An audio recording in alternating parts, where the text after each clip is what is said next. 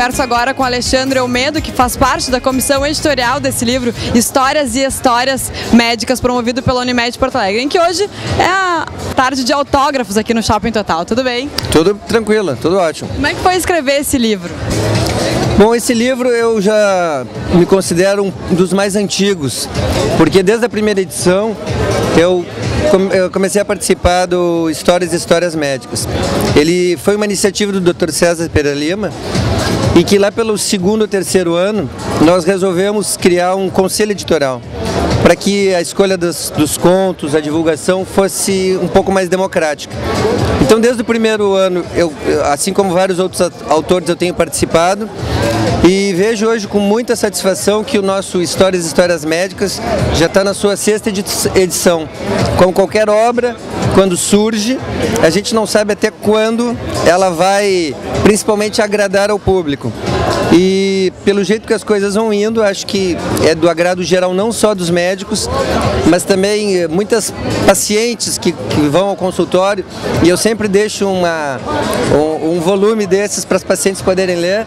Elas se divertem muito, se emocionam muitas vezes também. E eu acho que esse é o grande objetivo do livro. Não só a gente poder divulgar algumas angústias e fatos curiosos que a gente vive no dia a dia, mas principalmente compartilhar isso com os colegas. Que área tu és especialista? Eu sou médico mastologista e então nesse livro também tem uma história que, que eu envolvo um pouco essa minha área, né? Que é a respeito de câncer de mama, que histórias tão sofridas e, e que a gente acaba sempre se emocionando e a gente tem a oportunidade de relatar para os nossos colegas que têm uma vivência e que às vezes não conseguem colocar isso em palavras e essa é uma grande oportunidade que a gente tem. E um pouquinho da história do livro Histórias e Histórias Médicas, contado pelo Dr. Alexandre Almeida. Parabéns pelo teu trabalho. Muito obrigado, eu que agradeço.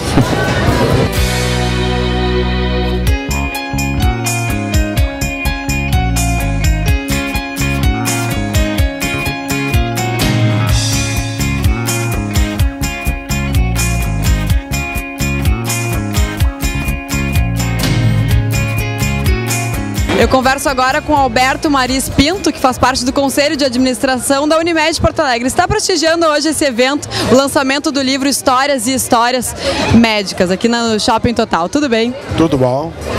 A entidade, essa Unimed, não para, né? Sempre promovendo novos uh, projetos, novos uh, eventos, né?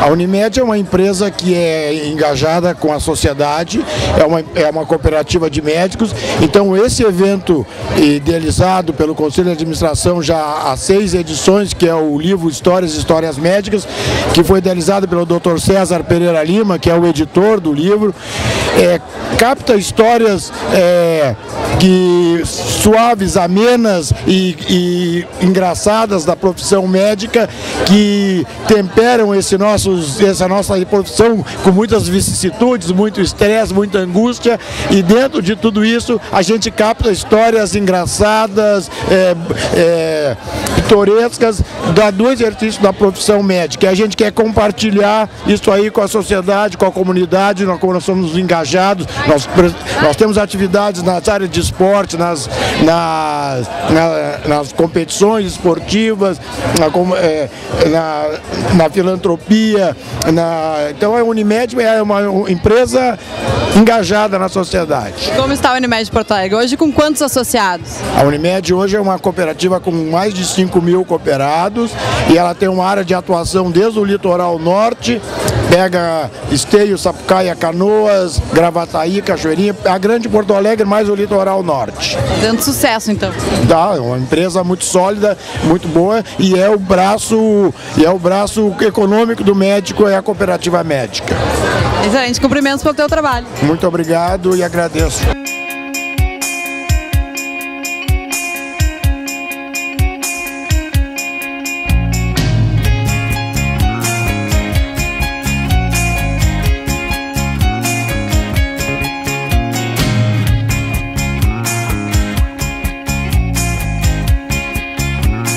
Eu converso agora com Alexander Sapiro, que é membro da comissão editorial desse livro, Histórias e Histórias Médicas, promovido pela Unimed, e também é escritor do livro, né? E hoje assinando aqui nessa tarde de autógrafos. Tudo bem?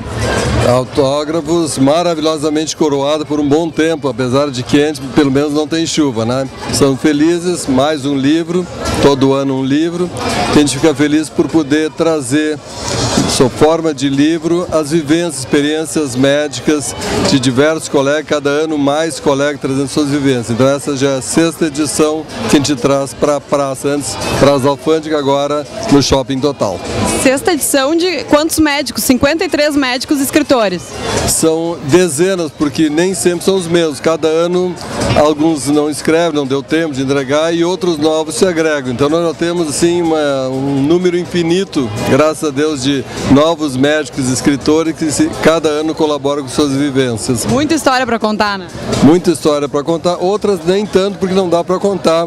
E a gente tem que passar por um crime, uma seleção, são maravilhosas, mas a gente tem um corpo de editores que analisa e felizmente a maioria são de ótima qualidade, dá para assim, divertir leigos e colegas com as suas vivências, porque as vivências de uns são muitas vezes a experiência do futuro de outros. E tu és médico pediatra, né? O que tu pode nos adiantar já das, das histórias que tu escreveste nesse livro?